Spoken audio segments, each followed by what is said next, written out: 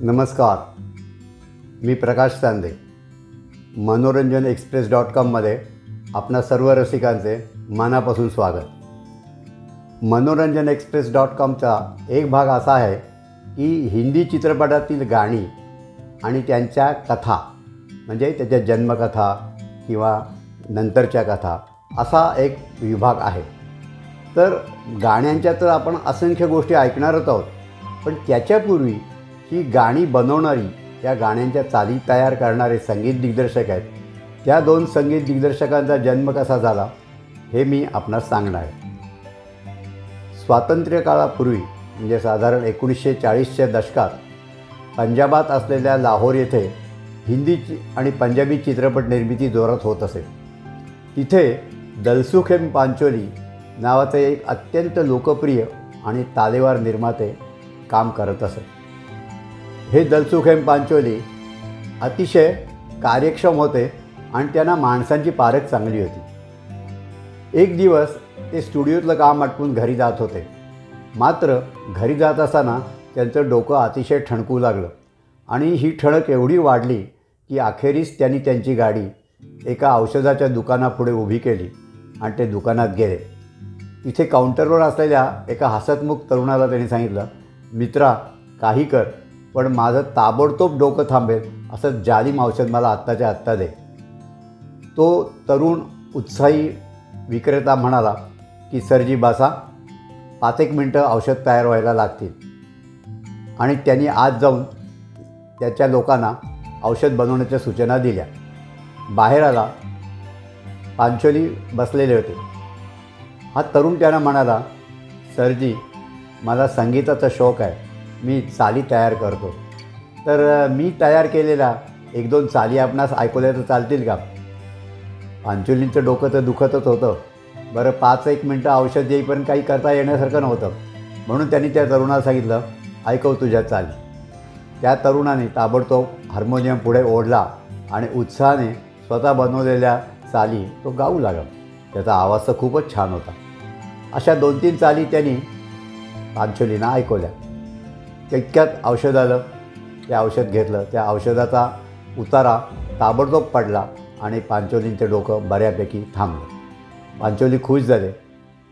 औषधाचे पैसे तर दिलेच पण त्यांनी खिशातनं त्यांचं स्वतःचं व्हिजिटिंग कार्ड काढलं आणि ते त्या तरुणाला देत म्हणाले मित्रा उद्या सकाळी अकरा वाजता मला या स्टुडिओत येऊन भेट. पांचोली निघून गेले. दुसऱ्या दिवशी सकाळी तो तरुण त्या स्टुडिओत पांचोलींना भेटायला गेला. पांचोलीने संगीत दिग्दर्शकाच्या विभागात बोलवणं पाठवलं आणि त्या ज्येष्ठ माणसाला सांगितलं हा माणूस आजपासून आपल्याकडे संगीत विभागात काम करेल याची योग्य ती दखल घ्या. तो तरुण त्या संगीत विभागात काम करू लागला आणि लवकरच तो हिंदी चित्रपटांचा एक नामवंत संगीत दिग्दर्शक झाला. त्याचं नाव गुलाम हैदर. त्याने खानदान खजांची अशा काही चित्रपटांना संगीत दिलं आणि ते संगीत अतिशय गाजलं.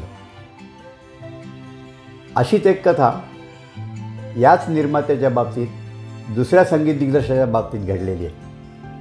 ती कथा अशी एकोणीसशे सत्तेचाळीस साली भारताची विभागणी झाली आणि फाळणीनंतर लाहोर हे पाकिस्तानात गेलं.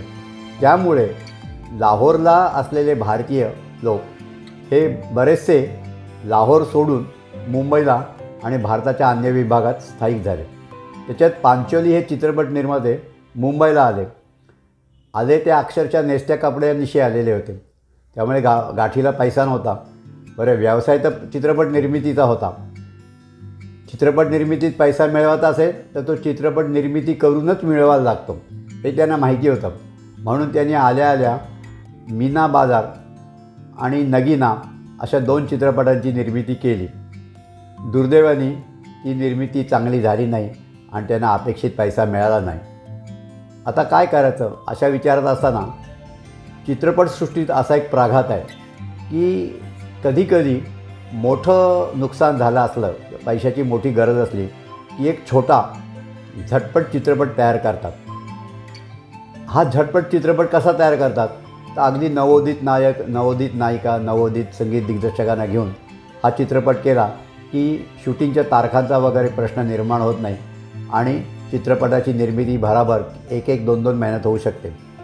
अशा निर्मिती झालेल्या चित्रपटांना क्विकी असं म्हणतात. पांचोलीनी एक क्विकी निर्माण करायचं ठरवलं. दिलीप कुमारचा धाकटा भाऊ नासिर खान नवोदित नायिका नूतन यांना त्यांनी अनुबद्ध केलं. आता प्रश्न संगीत दिग्दर्शकाचा आला कारण एकोणीसशे पन्नासच्या सुमारास हिंदी चित्रपटांचं संगीत दिग्दर्शन हे एक अविभाज्य भाग असे.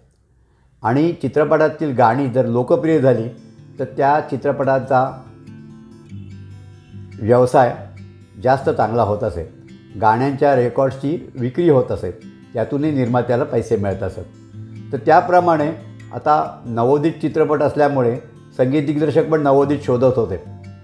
पांचोलीनं असं आठवलं की ते लाहोरला होते तेव्हा दिल्ली रेडिओवर प्रीतम आन मिलो नावाची एक ध्वनिमुद्रिका वारंवार लागत असे. त्याची चाल पांचोलींना खूप आवडत असे. म्हणून त्यांनी मुंबईत आपल्या सहाय्यकांना सांगितलं की दोन तीन वर्षापूर्वी दिल्ली रेडिओवर प्रीतमा आनमेलो नावाची एक ध्वनिमुद्रिका वारंवार लागत असे त्याच्या संगीत दिग्दर्शकाचा शोध घ्या. त्याप्रमाणे त्या सहाय्यकाने संगीत दिग्दर्शकाचा शोध घेतला आणि ते नाव पांचोलीनं सांगितलं. पांचोली म्हणाले त्या तरुणाला एक तार पाठवा. त्या तारेतला मजकूर असा आहे की तुमची आमचा पुढचा चित्रपट आसमान या चित्रपटासाठी संगीत दिग्दर्शक म्हणून नेमणूक झालेली आहे. कृपा करून दिल्लीहून मुंबईला ताबडतोब या. आपणापाशी मुंबईला येण्याइतके पैसे नसले तर कळवावे याची व्यवस्था करण्यात येईल. त्याप्रमाणे तो तरुण मुंबईला आला. त्याने चित्रपटाचं संगीत दिलं. दुर्दैवाने हा चित्रपट चालला नाही. याचं नाव आसमान होतं. मात्र यातली गाणी लोकप्रिय जरी झाली नाही तरी जाणकार रसिकांनी आणि सर्वसामान्य रसिकांनी ओठावर खेळवली आणि त्यांना ती अशी आवडली. या तरुणाचं नाव ओ पी नय्यर नंतर दोन दशक इतका काळपर्यंत त्यांनी हिंदी चित्रपटसृष्टीवर स्वतःच्या संगीताचं साम्राज्य निर्माण केलं. एक योगायोग खरं तर गंमत म्हणा. दलसुख पांचोलीने दोन चित्रपट संगीत दिग्दर्शकांची निर्मिती केली असं म्हणायला हरकत नाही. पण त्यांची वैशिष्ट्य किती आहेत बघा. पहिला जो गुलाम हैदर आहे त्याचं महत्त्वाचं काम काय होतं? तर त्यांनी लता मंगेशकर यांना ब्रेक दिला. आणि इतकंच नाही लता मंगेशकरचा आवाज घेतला जावा याच्यासाठी तो आग्रही राहिला. आणि अर्थात त्याचा फायदा लता मंगेशकरला निश्चितच झाला.